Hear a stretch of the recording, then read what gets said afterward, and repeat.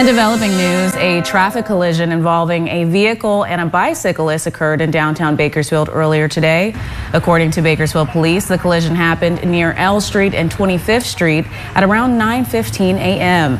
The male bicyclist suffered from minor injuries and was taken to the hospital.